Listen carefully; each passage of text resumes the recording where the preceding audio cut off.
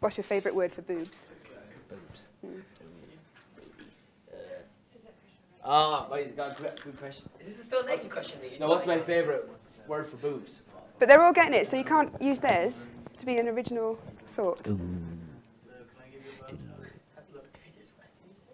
Say whatever you